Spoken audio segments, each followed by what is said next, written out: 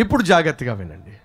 ఒకసారి ఒక సందర్భంలో ఒక పాస్టర్ గారు ఆ సంఘ పెద్ద ఇలాంటి మీటింగ్ అవుతూ ఉంటే నన్ను కలవాలని చెప్పి వచ్చారు.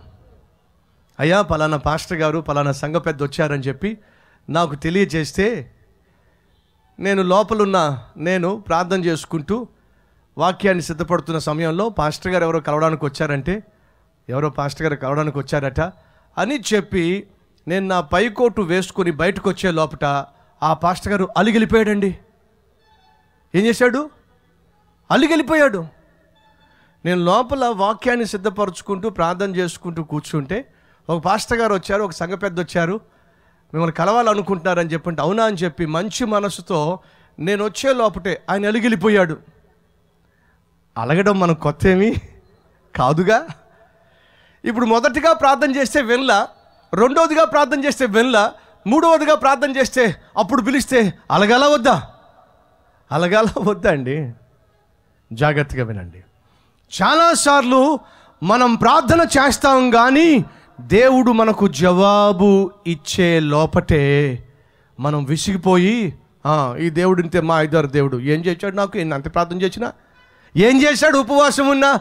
అని చెప్పి దేవుడు జవాబిచ్చే సమయంలో ఎంతమంది మన విశ్వాసంలో వీగిపోయిన వాళ్ళు ఆత్మీయతలో అలిగిన వాళ్ళు ఎంతమంది లేరండి? ఆధ్యాత్మిక జీవితంలో ప్రార్థించటము ఎంత అవసరమో ఆలకించటం కూడా అంతే అవసరం. ఉదాహరణ చెప్తా. మీలో ఎంతమంది ప్రతి దినము ఏదో ఒక సమయంలో ప్రార్థన చేసేవాళ్ళు ఎంతమంది ఉన్నారో చూపించండి. ప్రతి దినము ఏదో ఒక సమయంలో ప్రార్థన చేస్తామన్న వారు చూపిస్తారా? రైట్ ఎలా ప్రార్థన చేస్తారో చెప్తాను చూడండి. చిన్నపిల్లలు సాధారణంగా చిన్నప్పుడు ఆటలాడుతూ ఉంటారు. ఎలా ఆడతారో తెలుసా? పక్కింటికి వెళ్తారు. వెళ్ళి తలుపు కొడతారు. ఇంట్లో వంట చేసే ఆ ఇల్లాలు కానీ ఇంట్లో ఉన్న పెద్ద ఆయన కానీ ఎవరు అని చెప్పి వచ్చి తలుపు తెరుస్తారు. ఈలోపు మనం ఏం చేస్తాం? గబ్బగబ్బా పారిపోయి ఎక్కడో దాక్కుంటాం. ఆ ఇంట్లో ఉన్న ఇల్లాలు బయటకు వచ్చి లేక ఆ ఇంట్లో ఉన్న పెద్ద మనిషి బయటకు వచ్చి ఎవరో వచ్చారు తలుపు కొట్టారు. తలుపు తీసే లోపల వెళ్ళిపోయారు ఏమిటి వీళ్ళు ఎవరు వీళ్ళు? ఎవరు వచ్చారు అని చెప్పి మళ్ళీ తలుపేస్తాడు. మళ్ళీ పిల్లడు ఏం చేస్తాడు? మళ్ళీ నెమ్మదిగా వచ్చి దెబ్బ దెబ్బ తలుపు కొట్టి ఆయన వచ్చే లోపల మళ్ళీ పారిపోతాడు. పారిపోయి దాక్కుంటాడు. మళ్ళీ ఈ లోపల ఆయన వచ్చి తలుపు తీస్తే ఎవరుండరు? ఇదేమిటి తలుపు కొడతారు? తీస్తేనేమో కనిపించరు. ఏమిటిది?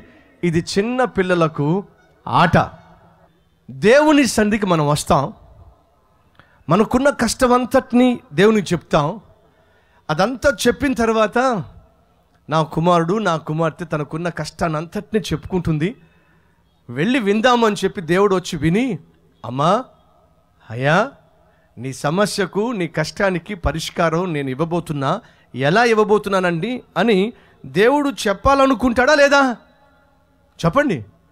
ఇప్పుడు దేవుని సంధికి మనం వచ్చింది మనకున్న కష్టాలు చెప్పుకోవడానికా దేవుడిచ్చే జవాబు పొందుకోవడానిక? గట్టి చెప్పండి. మన కష్టాన్ని దేవునికి చెప్పుకోవడానికా దేవుడిచ్చే జవాబును పొందుకోవడానికా? ఏది ముఖ్యం?